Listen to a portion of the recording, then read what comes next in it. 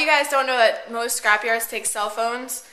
Rockaway Recycling takes cell phones without the battery, so it's simple to take the battery out. Most of you don't know. All you have to do is pop it out like that. You can scrap this whole thing. There's some gold inside.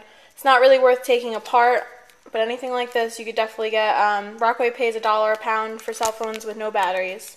If you have any questions, let us know.